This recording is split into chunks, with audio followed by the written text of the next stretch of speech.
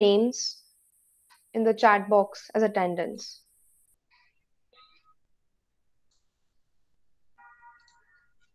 Okay, we'll just have a quick revision. Okay, uh, yesterday's uh, topic biomolecules जो हमने start किया था. So we had seen what are biomolecules? They are chemicals that are present in the living organisms, right? What is the cellular pool? It is a sum total of all the different types of biomolecules, all the compounds and the ions which are present in a cell. That is your cellular pool. So हमने biomolecules के दो classifications देखे थे depending on uh, organic skeleton, inorganic skeleton, and depending if they're micromolecules and macromolecules. That is depending on their molecular weight. Okay. वो हमने classification देखा था the major biomolecules of organisms along with their major functions and their building blocks the biomolecules that we have seen are proteins dna rna polysaccharides that are your carbohydrates and your lipids so this is all about carbohydrates right we have seen the functions of carbohydrates then along that we had seen just a basic classification of carbohydrates like monosaccharides, oligosaccharides, and polysaccharides. Then हमने proteins देखा था why they are important because they are the most uh, like they uh, are responsible for the functioning of all the cells and as well as the architecture. Then they are made up of amino acids and how the synthesis takes place of proteins, which is controlled by the DNA. What are the major functions of uh, proteins? The digestion, movement, uh, structure and support, cellular communication, and it acts as a messenger. I hope you guys have taken points for all these uh, uh, headings, you know, so that uh, in case a question comes, you're able to write because I haven't given any notes regarding this. So you should have little theoretical uh, theory about it, little notes about what exactly where proteins are involved in digestion. Like we had seen, there are enzymes which are um, responsible for digestion. Again, enzymes are made up of proteins, and we know that. Then, how uh, proteins are responsible for the movement. Like in muscles, I had given an example of myosin. Then, um, uh, another uh, uh function is of structure and support. Uh, for example, structure, if you see keratin, it is a major protein of hair and the nails, right? Then, uh, cellular communication, how cells have receptors, right? So other uh, cell uh, or uh, other hormones or substrates the proteins on the cells will act as receptor so that they're able to bind. It will act as messenger. Proteins will act as messenger like uh, it will uh, it will uh, travel carrying information from one part of the body to another part of the body and we had seen the structure of proteins and basically they're made up of amino acids and thoda humne amino acids ka thoda detail mein dekha tha about the uh, amino and the carboxyl group right?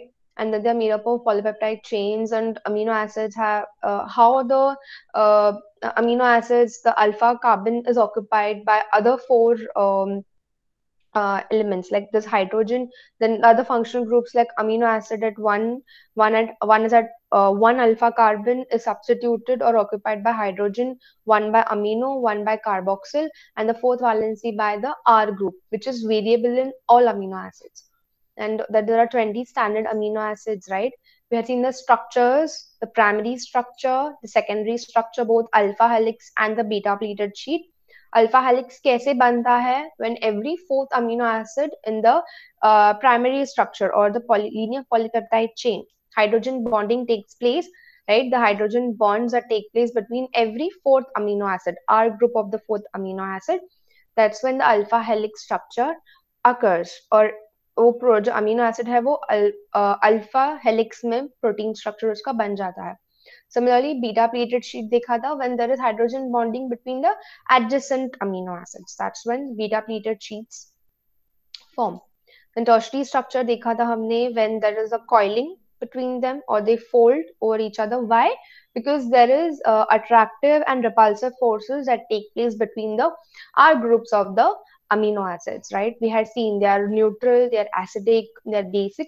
Depending on the attractive and the repulsive forces between them, they will fold and quaternary structure dekha tha jahan pe sare tertiary structures aakar they will form a big huge complex that is your quaternary structure little bit more about amino acids just basics about amino acids ठीक है and how they form dipeptides, the bond between the uh, carboxyl group of one amino acid and the uh, amino group of one uh, amino acid. Okay, and the sequence of amino acids present in a polypeptide is specific for a particular protein. So जितने भी proteins होते हैं उसमें amino acids का जो sequence होता है वो सबके लिए specific होता है. Then we had seen the different types of amino acids, right? Neutral amino acids, acidic, basic, S-containing, sulfur-containing amino acids, alcoholic, aromatic, and heterocyclic amino acids with their examples. we had seen about lipids why lipids are important and we had also seen the the, bilip, the lipid bilayer then the non-polar tails and the polar heads and how they're hydrophobic and they're hydrophilic. And why that structure is like that why the tails are not out why the heads are not in ye bhi humne dekha hua tha then uh, for the classification of lipids हमने देखा था and we had seen what are saturated fatty acids unsaturated fatty acids glycerides क्या होते हैं then waxes phenolipids steroids uh, sphingomyelin glycolipids lipoproteins or lipoproteins then just a simple classification for the classification then we had seen enzymes. All enzymes are protein, but all proteins are not enzymes. Then what exactly enzyme ka kya function hota hai? It acts as a catalyst. Then we had seen that when they are produced in they are produced in the inactive form and they're called as zymogens or proenzymes and they're converted to their active forms under the influence of specific factors like the pH, presence of the substrate, etc. Enzymology kya hota hai? When the enzymes are called endoenzymes and exoenzymes. Then we had seen a few examples of enzymes. Then we had come to nucleotides. What are nucleotides? Are the building block of nucleic acids, both DNA and RNA. It is a genetic material. Then when does a nucleotide forms form and when does a nucleoside form? Okay. Then uh, we had seen very exactly the backbone is present. That is where exactly the nucleotides are. Okay. And uh, types of nucleotides हमने देखे थे or your bases. I'm sorry, your bases है ना nucleotide base plus your phosphate plus your sugar है ना pentose sugar तो bases of two types purines हमने देखे थे two type two when they have two rings और two carbon nitrogen ring be purines example था adenine and guanine and pyrimidines are those have only one carbon nitrogen ring in their structure it is cytosine thymine and uracil हमने उसका base pairing देखा था like adenine or A goes with T in the DNA, that is AT. In RNA, it will be AU. Okay, but in uh, in uh, the DNA, it is always AT. And otherwise, GC remains constant for both the DNA and the RNA. So it is AT, AU, and GC. There is double bond between AT and double bond between AU, triple bonds between G and C. It is guanine and cytosine. Then finally, the DNA, uh, right? We had seen that it is a double helix structure. It carries all the genetic instructions, which are basically passed down from the parents to the offsprings or from one generation to the other generation. We had seen what are genes. Genes are nothing but a specific segment of the DNA, which basically carries a genetic information, right? Uh, then uh, it's a set of blueprints, right, which are needed for uh, the pr production or synthesis of other components or other biomolecules like your proteins then that they are anti-parallel right 5 prime 3 prime they run in opposite direction so they're anti-parallel uh, we had seen that uh, the dna chain the entire dna chain is 22 to 26 angstroms wide ठीक है नहीं कि उसका with उतना है और हर nucleotide का length कितना है 3.3 एंगस्ट्रॉम्स देन हमने आरएनए देखा था so DNA is a genetic material in animals plants RNA is basically in in word RNA का क्या काम रहता है? Coding decoding regulation expression of genes that's what your RNA does basically हमने central dogma देखा था ऑफ़ मॉलिकुलर बायोलॉजी पर RNA का प्राइम फ़ंक्शन क्या है? To convert DNA into proteins. So basically, what your DNA or genes or that are present, okay, वो gene एक gene को प्रोटीन में कन्वर्ट करने का काम होता है आरएनए का। राइट देन हमने देखा था कि जो double standard R N A होता है that is your viral genome whereas in animals plants we have the single standard R right इसलिए ये पिक्चर यहाँ डाला क्योंकि it is single standard R N is present in animals in plants but in viral genome it is double standard why it is double standard वो भी हमने कल देखा था। Types of R N A most important R M R N A R R N A and T R N at you need to know about okay okay? Then we had seen DNA replication that how DNA replication what exactly is DNA replication and why it is important for biological inheritance right um, then we had seen that it is a semi-conservative model and that each uh, parent strand acts as a template for, to synthesize a new daughter or a complementary strand. Then uh, the enzymes that are involved in DNA replication, all that would be covered in the uh, first unit, that is uh, your molecular biology unit. Okay? I'm not going into the depth of it now because it's not needed for the unit that I'm going to teach you guys. So so, जो भी उसके sorry um, enzymes वगैरह है वो तुम depth में उसका importance वगैरह पहले यूनिट में जब गीतांजलि मैम कवर करेंगे तब you guys will like study about it okay then transcription देखा था ट्रांसक्रिप्शन uh, क्यों होता है what is the significance of transcription it is when the when the DNA undergoes transcription, you're making RNA, right? Uh, mRNA banta hai transcription mein. So what exactly? It is a process of making an RNA copy of a gene sequence. तो जो gene रहता है उसका हम mRNA बनाते हैं. That is your transcription process. और वो कहाँ होता है? वो तुम्हारे nucleus में होता है. After it becomes, so this is your mRNA here. After it is synthesized by the RNA polymerase in the nucleus, it will leave the nucleus and it will come out in the cytoplasm and it will go and bind with the ribosome which is present in the cytoplasm and it will undergo translation where the mRNA the ribosome will synthesize or will add amino acid sequences which are very specific to that particular mRNA molecule.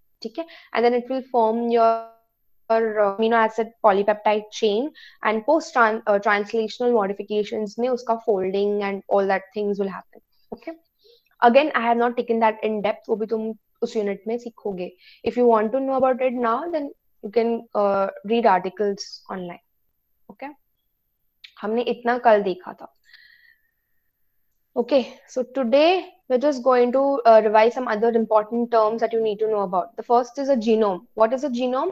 It is a complete uh, set of genetic instructions. So basically तुम्हारा जो पूरा DNA होता है उसमें बहुत सारे instructions होते हैं कि पर्टिकुलर um, प्रोटीन कैसे बनाते हैं या कार्बोहाइड्रेट्स का आगे मेटाबॉलिक पाथवे कैसे होगा पर्टिकुलर एंजाइम चाहिए है फॉर एग्ज़ाम्पल ट्रांसअमाइनेज बनाना है तो वो एंजाइम कैसे बनाना है वो भी एक जीन में होता है राइट सो आगे सेल डिवीज़न करना है तो कैसे करना है, कब करना है, वो सारे इंस्ट्रक्शंस हमारे जीन्स में होता है।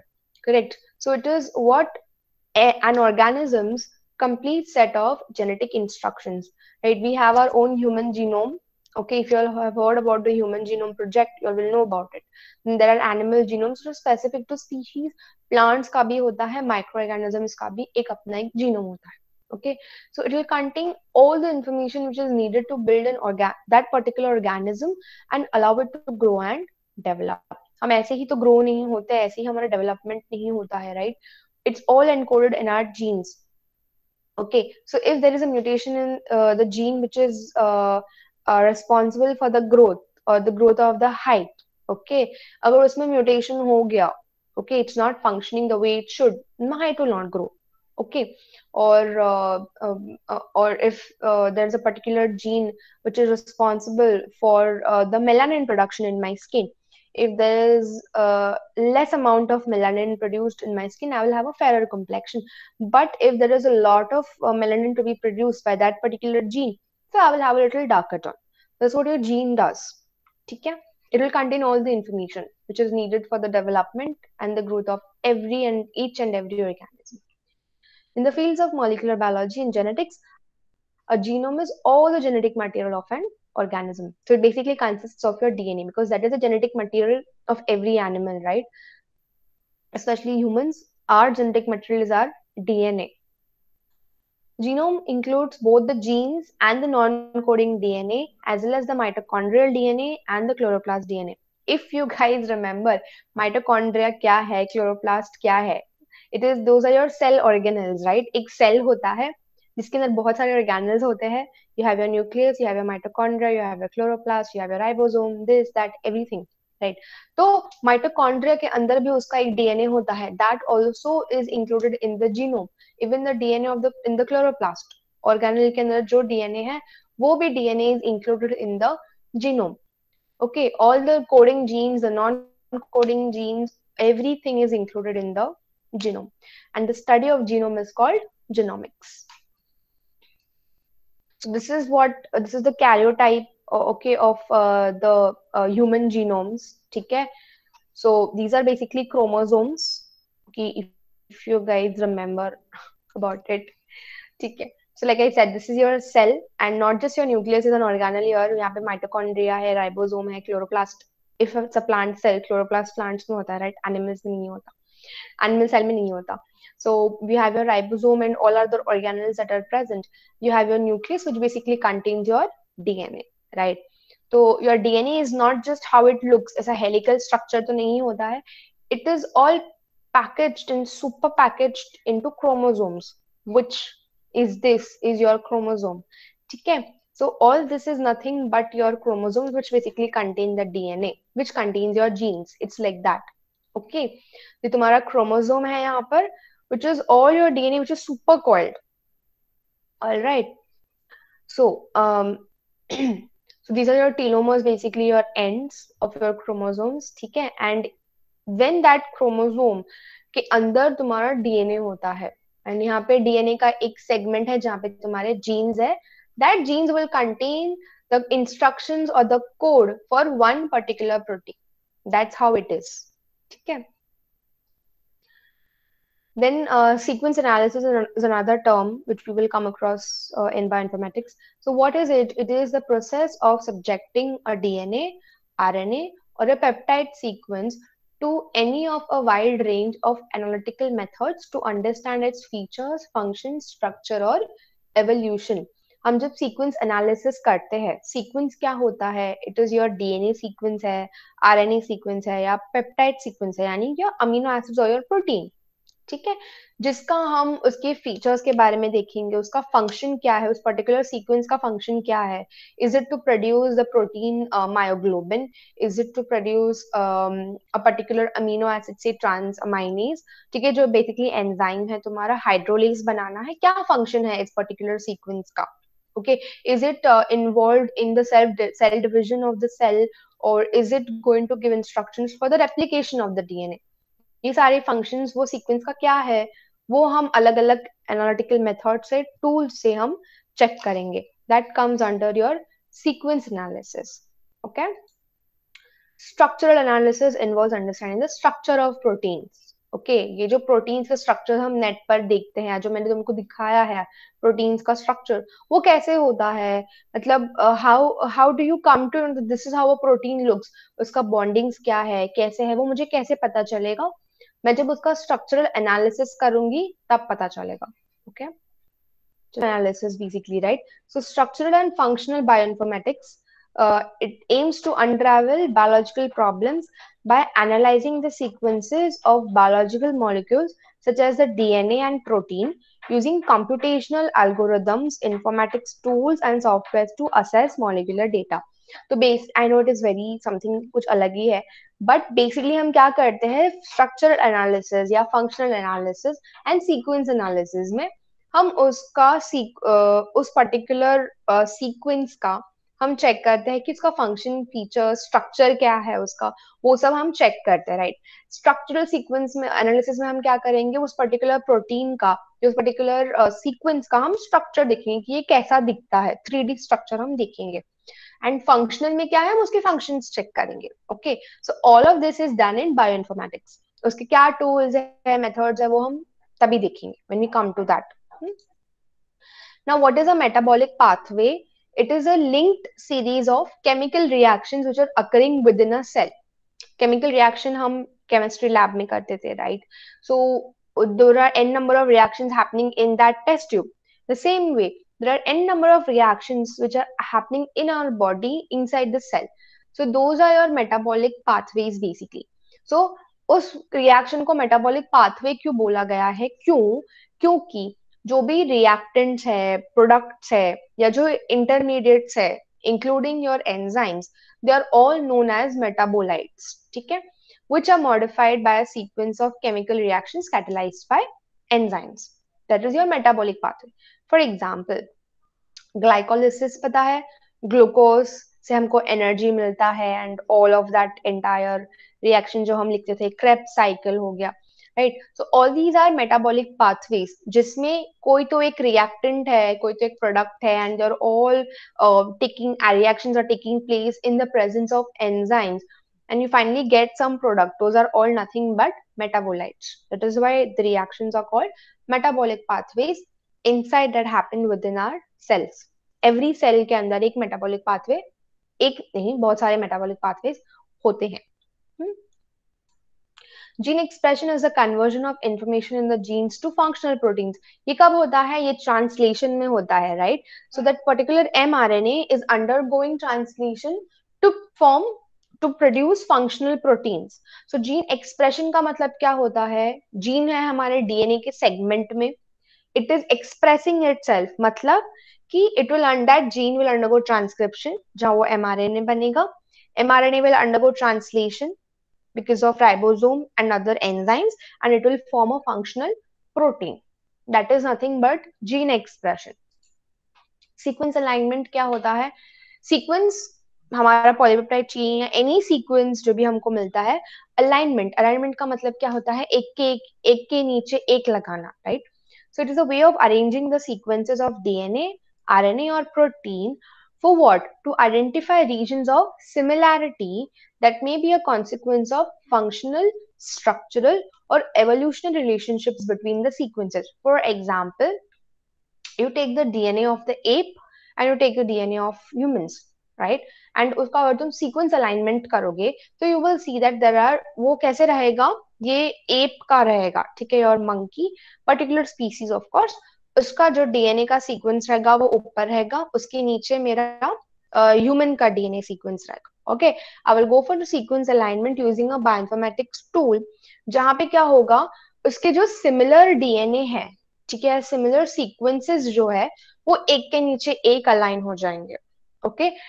दैट इससे मुझे क्या पता चलेगा कि कुछ तो सिमिलैरिटी है मेरे मतलब ह्यूमन डीएनए में एंड उस एप के डीएनए में that's what that is evolution right we evolved from them तो ये कैसे पता चलेगा like if you want to study about it use the sequence alignment tool and you can find out the evolutionary relationships between many species plants के बीच में animals के बीच में so the one example I gave you all was the ape and human DNA का sequence alignment where when I do the sequence alignment test or use a particular tool इसमें क्या होगा? मेरे sequences जो है, वो एक के नीचे अगर सिमिलर है तो वो अलाइन हो जाएँगे। And I will be able to compare कि whether human have from apes okay the same way any similarities between the structural sequences और functional you know relationships between the two sequences can be studied using sequence alignment okay what is an algorithm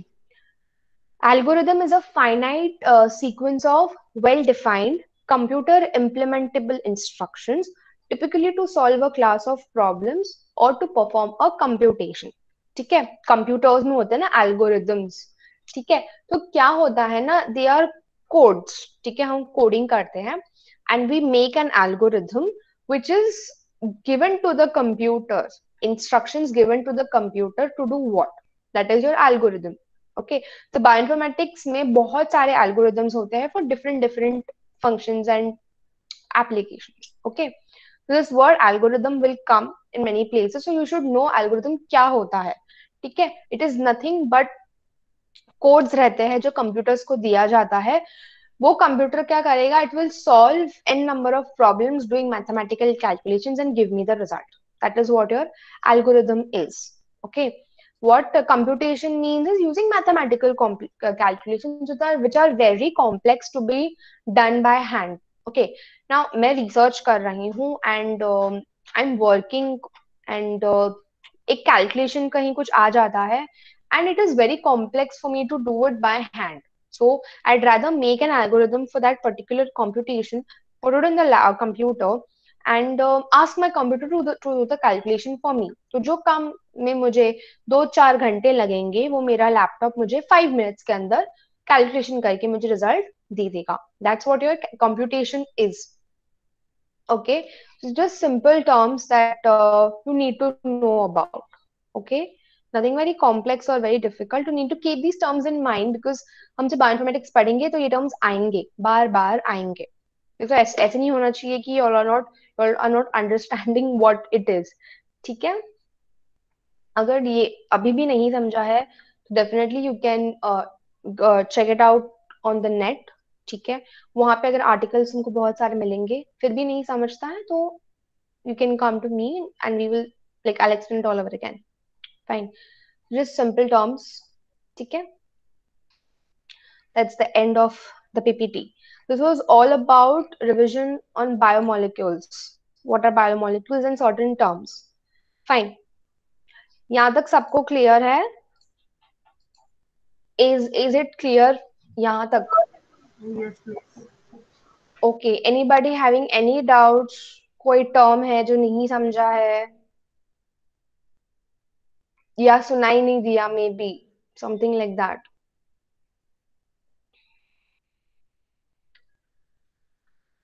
या तो chat box में डाल दो या तो हाँ या ना बोलो. Do something